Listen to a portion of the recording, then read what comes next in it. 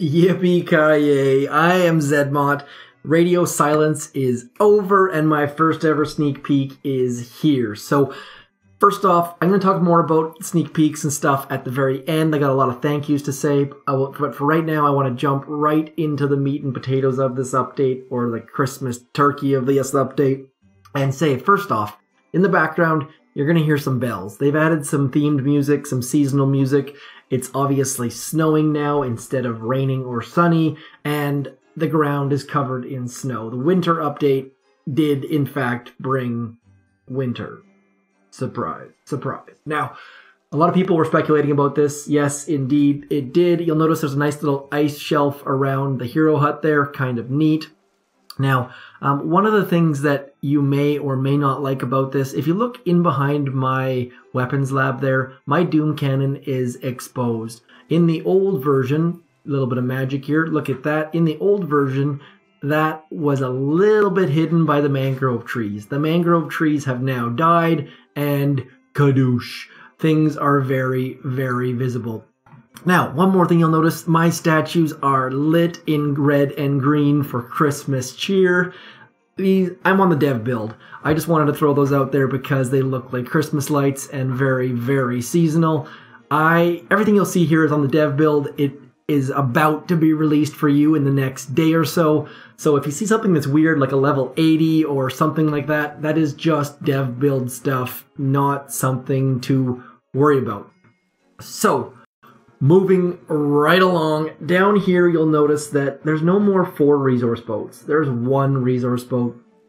Rather than having to click four times, you now click once. Minor detail, but if you combine the fact that all the residences are now collected with one click, we're talking about one click now, or sorry, two clicks instead of like 13 or 9 or whatever. Some number bigger than 2 is all that matters. Saving us clicks, making things a little bit more easy on us simple, small changes. And that's sort of the theme that I'm getting from this update. This update is about small changes, it's about bug fixes. That is what we're talking about here. There's not drastic, oh my god, seven new operations and four new heroes and like HQ 25 or something like that. This update I am really, really excited about, and primarily because it's they've taken it back to the basics. They've cleaned some things up. They've bolted on a couple little things here and there that will potentially be cool going forward, but they just kept it simple. So, speaking of keeping it simple, we've got some things that we've seen before. The cryo bomb is back. It is here for the Christmas season. I don't know the exact dates. I think it's like December 20 like whenever this thing drops until like January 12th or something like that. I don't know the exact dates, but the cryo bomb is going to be awesome. Now, one thing I've been messing with is trying to figure out what its radius is. Every the level 65 base has 24 mines. If we drop this in the middle, it leaves us with 8 mines. That is telling me that the diameter is 16, so you can clear a ton of mines with this baby. And on top of that, you can also damage a ton of your troops. Look at all that damage. It slows things down, it does damage, it clears mines.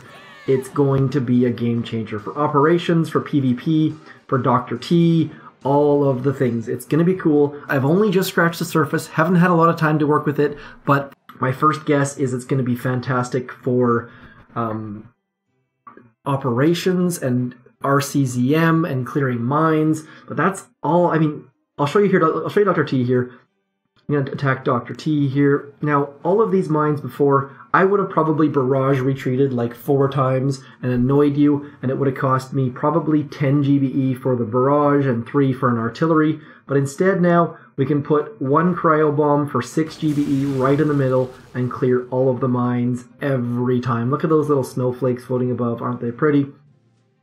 And now, obviously, these cryo bombs go up by 8 GBE every time you use them, so they get pricey very, very quickly. But for the one off clearing the mines, it's going to be fantastic, especially Dr. T. Um, it's gonna, and then as for PvP, if you're using RCZM, it's going to make your attacks clearing. It's going to clear the mines for you. It's going to slow things down. Um, I wanted to show one more thing. This is what I am picturing for an operation hit. this is I'm really excited about this part. I don't know if it's actually going to work or not, but here's what we've got. Operation Attack, smoking in behind the headquarters, throwing one shock and two cryo bombs. Now watch this. One, two, three full salvos. Down goes the headquarters, and none of the rocket launchers have fired a single shot. Now, obviously, it depends if you have the delay or not, but that is going to be very, very cool. I'm excited about that. Cryobomb is going to make some operation attacks very, very interesting. It's going to make PvP interesting. It's going to make Dr. T much easier. Uh, whether or not PvP will have to adjust to it, I can't say for sure, but I'm, I think it's pretty cool. Now, you'll notice right in the dead center of my glowing statues here, I've got a nice little hole. If we look under here, we've got a new tab called the Decorations tab. The Decorations tab is exactly what it sounds for like. It's got decorations. This this Christmas tree or Beachmas tree, as they've ch- chosen to call it, does absolutely nothing. It's not going to make your attacks stronger. It's not going to make your Zookas walk in straighter lines or skinnier lines or anything like that. It's just a decoration. If you log in between December 18th and January 12th, don't quote me on those dates, please. Just log in every day and, and get it. Um, you will get this tree. It's only going to be available once, and you'll never be able to get it again. You'll get it for free. You don't have to pay for it, but uh, it's kind of neat. I mean, you can just you can put it away whenever you want. If you want to have Christmas in June or July or March or whatever, you can put it back out. It doesn't do anything. It's just a decoration. But one of the things that I'm pretty excited about about this is that this is opening, as you can see here in this decorations tab, coming soon. They could do decorations for Halloween, for Easter, for birthdays, for Project Red. Um, they can do it for anything they want, and they can do it whether it's free or pay.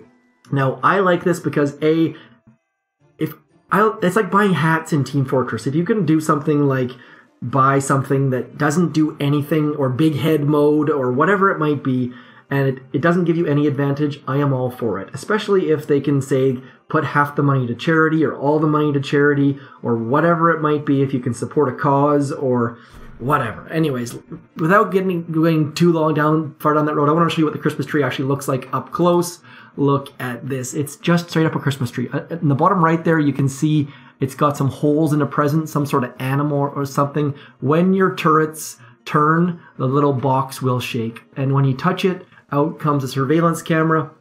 Again, just little details. The surveillance camera doesn't do anything. The tree doesn't do damage or anything like that. It's just a Christmas tree. But it's I I I realize that I sound like a little bit over the top about this, I, I know it's minor details, but I like the fact where this is going. They're fixing errors, they're cleaning things up, not doing drastic changes, doing little tiny incremental changes. I like the small stuff. Uh, whenever there's a big change, I always get a bit nervous because things tend to break. So, um, I think that's about it. Um, I don't know if the cold b- bugs you or not, but the cold's never really bothered me. So um, I'm just trying to sneak in as many uh, do you want to build a snowman type references as I can. Something, something, you'll shoot your eye out. Winter is here, Christmas is here. We've got, I've, I've heard there's a new animal that's going to be on the beaches. I've been watching patiently, like so patiently, for hours now, and I have not managed to spot it. I'm not going to give away what it is, but keep an eye on your beach. I've been told there's an animal that's going to be on there, but I they could be just making me stare at my beach because I have not yet seen it. That's it. This is my first ever sneak peek. Please give me a lot of feedback. And for all the people who posted on Discord, posted on the forums, posted on Reddit, um, bugged Arlight, bugged Drew, politely, I hope. Thank you very much. I obviously would not be making this sneak peek without your hard work. I greatly, greatly appreciate all of those kind messages. Um, but again, that's it. A small update. Um, little things, Christmas cheer. I hope you enjoy it. I am pretty stoked.